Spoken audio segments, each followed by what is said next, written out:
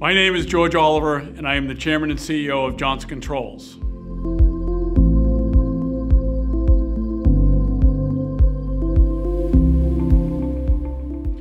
At Johnson Controls, we believe AI will transform the buildings industry, allowing our customers to meet their net zero carbon emission goals and create healthier, more productive workspaces for their people.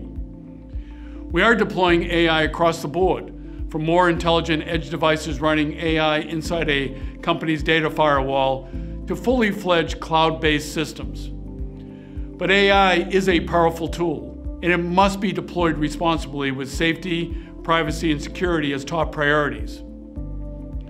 For us, responsible AI means partnering with our customers to work on the outcomes they want and charting a path that ensures data is carefully collected, managed, acted upon, all with built-in retention and deletion schedules.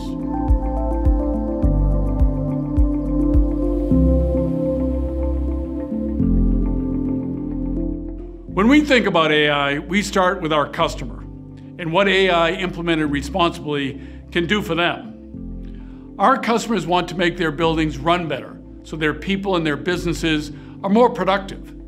They want spaces that are healthier for their people and our planet. A great example is how we're turning physical maintenance calls into virtual ones. Let me explain. Our OpenBlue solution running AI can monitor the vibration of a connected chiller in real time. If that vibration moves out of the expected range, we can then act quickly to prevent a breakdown.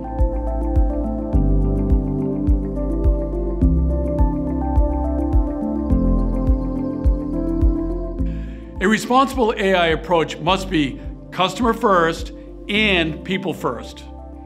For us, it means upholding a principle of privacy by design, so every solution demonstrates strict adherence to best practice. We also only handle data that helps us to achieve our customers' goals. We treat their data with respect, only retaining it as long as it is necessary and the protection of personal information is sacrosanct. To fortify this, our Global Privacy Office is involved in product development right from the start to finish.